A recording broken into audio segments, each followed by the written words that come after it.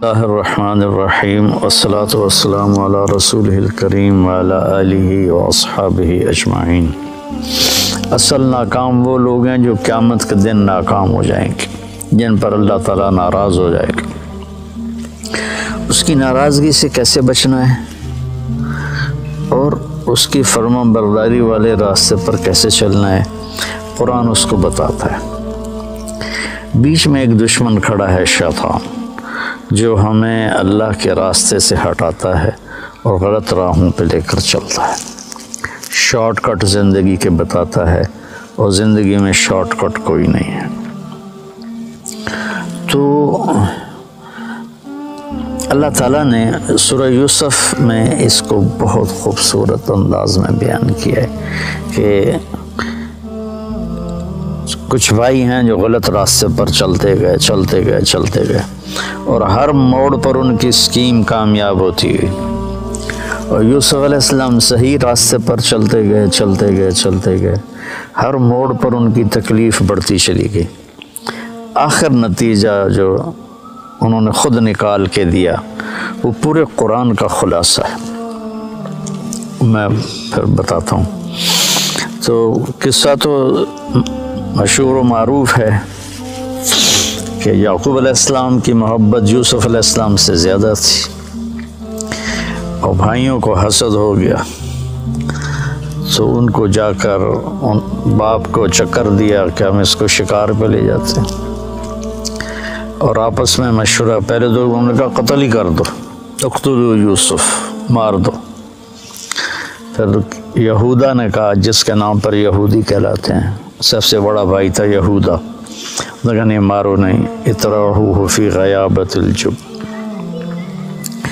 के अवितराहू अर्द यखलकुम वजह अबीकुम मतकुन मिन बादिही कौमन सालिहीन कि ऐसा करो कहीं दूर दराज फेंक दो और फिर तुम्हारा बाप होगा तुम होगे तो तुम अपने बाप के ज़्यादा महबूब बन जाओगी तो उनको लेकर गए और जाकर वाजमाऊ फ़ी गयाबतुब जुब उस कुएँ को कहते हैं जिसका पानी खुश्क हो चुका हो। जिसमें पानी हो उसको बीर कहते हैं। और जिसमें जिसका पानी खुश्क हो गया हो, और ये फ़लस्तीन पहाड़ी इलाका था तो उसमें कुएँ खुश्क हो जाते थे। तो उन्होंने उसमें फेंका उनको। तो अल्लाह ताला का गैबी निज़ाम चला, फिर वो काफिला आया, वो उठा के ले गया। गवर्नर मिस्र के दरबार में पहुँचे। फिर वहाँ बड़े हुए तो जैसे अल्लाह ने सारी दुनिया के आज सात अरब लोग हैं। पीछे पता नहीं कितने खरब चले गए, आगे कितने आएँगे। उन सबको हुसन में पूरी इंसानियत को एक बटा दो तकसीम किया। और यूसुफ अलैहिस्सलाम अकेले को एक बटा दो दिया। तो उनका क्या हुस्न होगा? वो जब गवर्नर बने थे तो फिर वो वज़ीर ख़जानत से मुँह छुपा के रखते थे कि कोई फितने में ना पड़ जाए। और, औरतों में अल्लाह ताला ने हज़रत हवा को सबसे ज़्यादा हसीन बनाया। उनके बारे में बस इतना था, सबसे ज़्यादा हसीन बनाया। लेकिन यूसुफ अलैहिस्सलाम के बारे में औरत शतर हसन, कि आधा हुसन सारा दे दिया। तो जुलेखा का इम्तहान आया। बहुत बड़े गुनाह की दावत। वरावदत हुल्लती हो वफ़ी बैतहा अन नफ्सी व गल्लक़तिल अबवाब वक़ालत है तलक इतना लंबा जुमला उस मंज़र के खौफनाक इम्तहान को बता रहा मैं से छोटा जुमला भी हो सकता तो यूसुफ पर दो इम्तहान आए। एक बहुत बड़े गुनाह का इम्तहान आया है। एक मिस्र के हुस्न जमाल का फितना। और दूसरा भाइयों की तरफ़ से जो आजमाइशें चली हैं और उनके मुखालफाना तदवीरें चली उन्होंने उस पर जो सब्र किया। तो जब वो भाई मिले ना, जब अल्लाह ताला ने यूसुफ अलैहिस्सलाम को गवर्नर बना दिया, वज़ीर ख़जाना बना दिया तो भाई आए वजह ख़ुद यूसुफ फ़ारफ़ वहम लहू मुनकरून। कि भाई, यूसुफ अलैहिस्सलाम ने तो पहचान लिया, मेरे भाई आ गए चूँकि यूसुफ अलैहिस्सलाम इस तरह बैठते थे ये पूरा नकाब ओढ़ते थे, सिर्फ़ आँखें नज़र आती थी। फिर छोटे सी उम्र में उनको उन्होंने बेचा था। और वो तीस चालीस साल के जवान आदमी थे। तो उनका ख्याल भी नहीं उधर गया तो उन्होंने पहचाना भी नहीं। दूसरे इस्लाम ने पहचान लिया। तो कहने लगे, तुम्हारा दूसरा भाई है कोई का जी है? कहो उसको लेके आना, वरना कुछ नहीं दूँगा। फिर उनको एक बहाने से अपने पास रख लिया। जब, उन्होंने बिनयामीन को अपने पास रख लिया तो यहूदा ने कहा, मैं तो वापस नहीं जाऊँगा। पहले हमने यूसुफ को खोया, जानबूझ के हमने शरारत की। अब बिनयामीन, हमारी वजह से तो नहीं, खुद अपनी वजह से ऐसा हो गया। तो जब तक बाप, मेरा बाप कोई मुझे इजाज़त नहीं देगा, मैं इधर ही बैठा हूँ, तुम जाओ। तो जब भाई गए और उन्होंने कहा कि बेनियामीन ने चोरी कर ली है और मिस्र के वज़ीर ख़जाना ने रोक लिया है तो इस पर उन्होंने ख़त लिखा। अच्छा यूसुफ भी नबी और याकूब भी नबी सलाम, अब बीच में सात दिन का सफ़र है टोटल। तो पूरे पता नहीं कितने साल, बीस, तीस साल, चालीस साल। वो उधर मौजूद हैं, सलामत ये इधर मौजूद हैं, बताने की इजाज़त नहीं। ना जैसे ही वो वज़ीर बने थे, उसी वक्त वो अपने बाप को पैगाम भेज देते कि मैं ठीक ठाक हूँ, आप आ जाएँ। अल्लाह की उधर भी वही आ रही थी कि नहीं बताना। और याकूब के लिए भी था कि इनको भी नहीं बताना। वबी अफ़ना हो मिलहज़ फ़हुआ कदीम आँखें उनकी चली गईं, रोते रोते। और गुस्सा पीते पीते पीते पीते वो फूल के मशकीज़ा बन गए। कदीम काजम उस मशकीज़े को कहते हैं जो पानी से फुल करके, टाइट करके बंद कर दिया जाए। जितने भी साल भाइयों ने याकूब अलैहिस्सलाम के साथ वक्त गुजारा यूसुफ अलैहिस्सलाम के बग़ैर तो उन्होंने कहा फसबर जमील। पूरे चालीस साल में एक लफ्ज़ भी ताना नहीं दिया। मेरा बेटा तुमने गुम कर दिया। हालाँकि आपको पता था इन्होंने फ्रॉड किया है। पूरे चालीस साल में एक फिर ख़त लिखा, अज़ीज़ मिस्र के नाम, कि मैं याकूब बिन इसहाक आपसे मुखातिब हूँ। हम नबियों की औलाद हैं, हम चोर नहीं हैं। हम पर बहुत ज़माने से आजमाइश की चक्की चल रही है।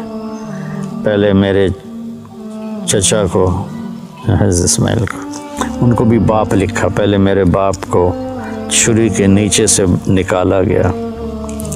फिर मेरे बेटे को मुझसे जुदा किया गया, आज चालीस साल हो गए। मुझे उसका कुछ पता नहीं है। तो तूने उसके भाई को रोक लिया। वो मेरे गम की तसल्ली था। मेहरबानी करो, मेरा भाई वापस कर दो, मेरा बेटा वापस कर दो। ये ख़त जब याकूब यूसुफ़ ने पढ़ा तो उनका दिल भी भर आया और आँखें भी।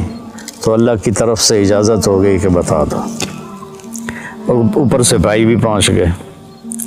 अज़ीज़ कदमसना व अहलना दर वजना बेदात मुजात फ़ाउफ़िलनकैल व तसद्दक़ अलैना इन अल्लाह यजल मुतसद्दिक़ीन क्या आजजी है इन अल्फाज और क्या ज़िल्लत और पस्ती की इंतहा को छू कर वो गुफ्तु कर रहे थे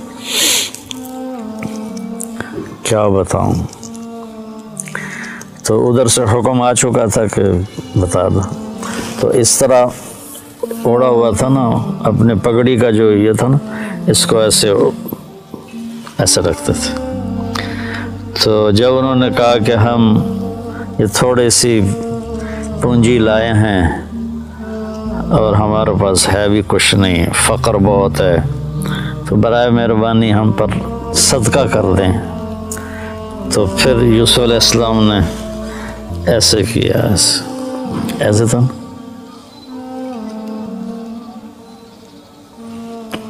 हल आलिम तुम मा फ़ाल तुम यूसुफ व अखी ही इद अन तुम जाहिलून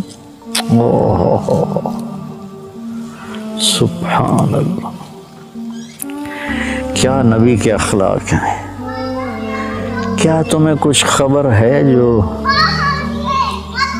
तुमसे बेखबरी में यूसुफ के साथ कुछ थोड़ा बहुत हो गया था थोड़ा बहुत कैद काटी नौ साल सेना की तहमत लगी। मंडी में बेचे गए। कितनी लंबी चौड़ी घाटियों से गुजर कर और उनको उसका सबब कौन थे भाई? उनको कह रहे हैं, वो हल हल वहाँ बोला जाता है, जहाँ मुझे इसको उर्दू में कहते हैं आपको पता चला? सईद भाई, आपको पता चला? तो आपको पता चला का मतलब ये होता है कि इसको मालूम नहीं और मैं बता रहा हूँ।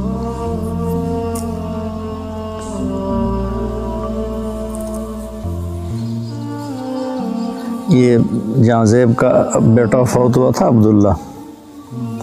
तो मैं आया रायमंड से। तो अली छोटा सा था, यहाँ खेल रहा था।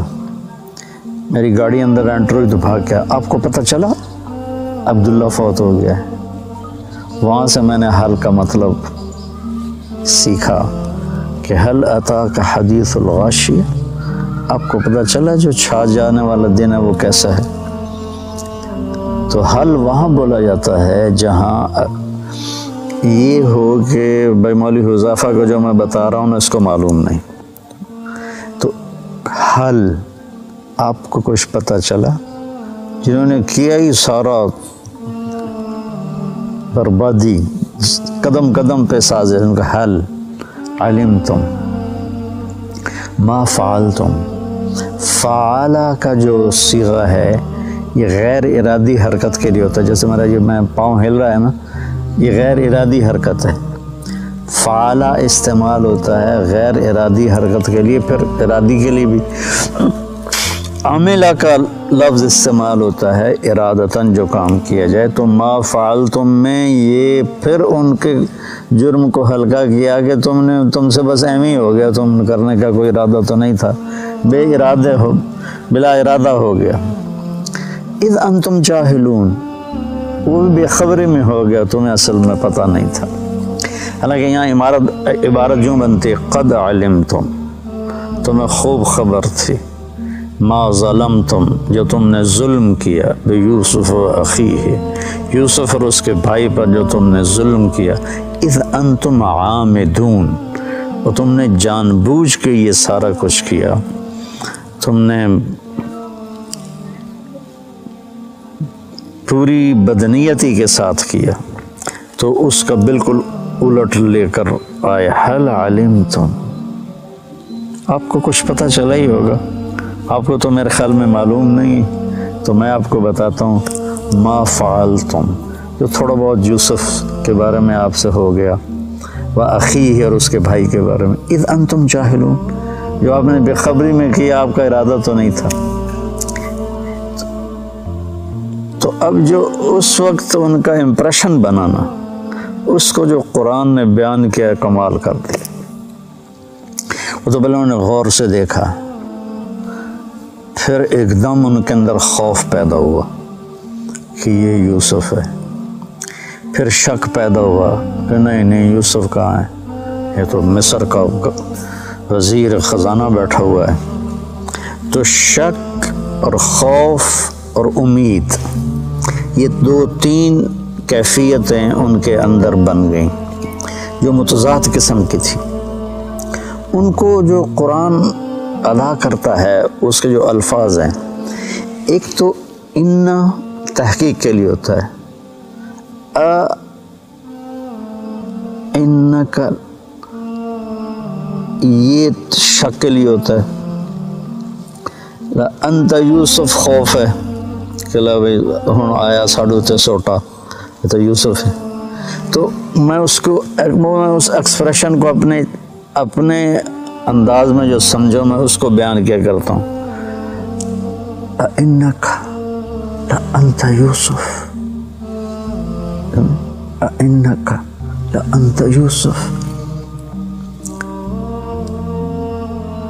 मुझे बड़ा मज़ा आता है इस आयत में कि किस तरह अल्लाह ने मुख्तलिफ़ कैफियात को जमा के। मैं उसको चेहरे पे लाने की कोशिश करता हूँ।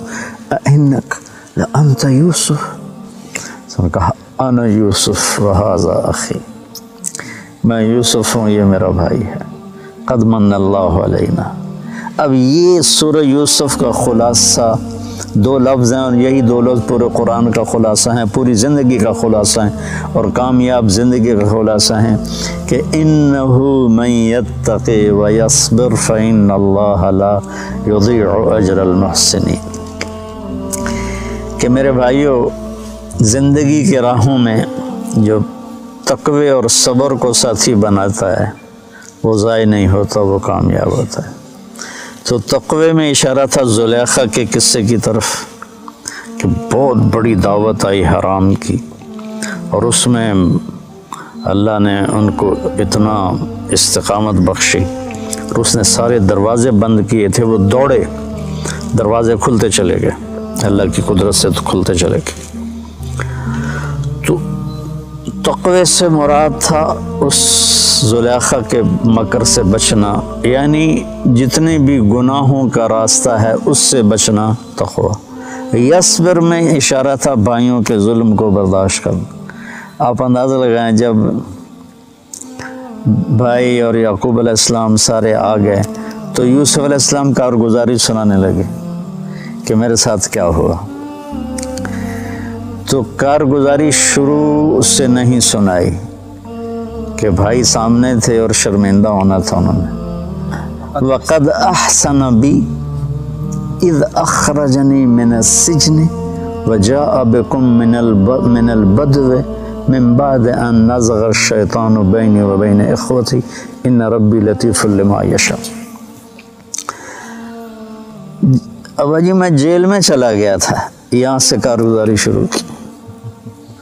मुझे इन्होंने निकाला, मैंने रास्ते में मारा और मुझे बांधा, फिर बाँध के कुएँ में फेंका, फिर मैं डोल में बैठा, फिर मुझे इन्होंने चंद कौड़ियों में बेचा, फिर मेरे ऊपर जना की तहमत की सारा हजफ कर दिया कि ये शर्मिंदा होंगे, मेरे भाई शर्मिंदा होंगे।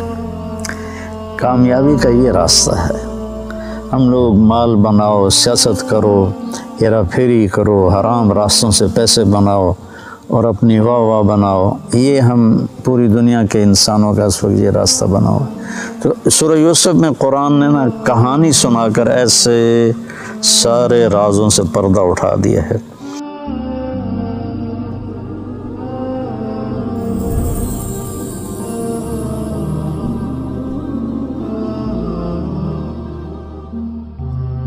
रहीम